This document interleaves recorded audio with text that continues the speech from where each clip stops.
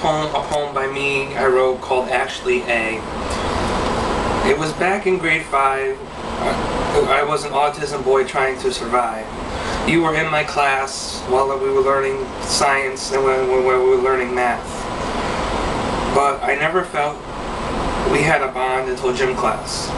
You were you were nice to me and I was nice to you, helping out kids and learning and to learn to pull through. During those times, I felt like I had a friend. I wanted to grow close and up with you and see where it, it would end.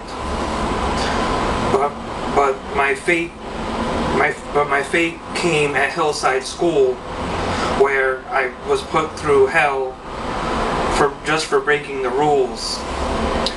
Little did you know what and everybody else what ha- what had happened and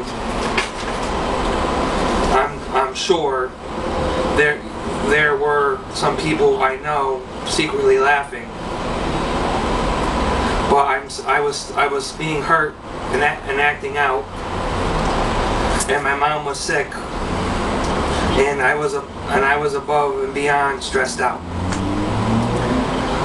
Also had uh, some bottled up emotions.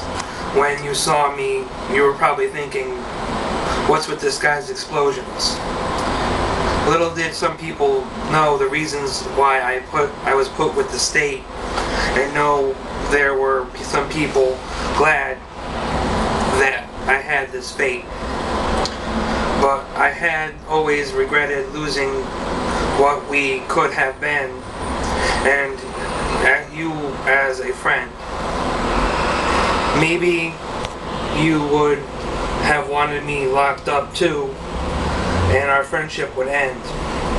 But you, you still went down in my mind as a friend, and little did you know, it took me years to get over the loss, and little and a lot of things that have made me made me lose my childhood and pay the ultimate cost.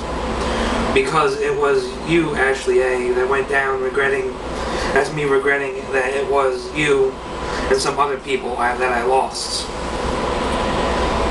As I tried to redeem myself and forgive myself, which made me pay the ultimate cost.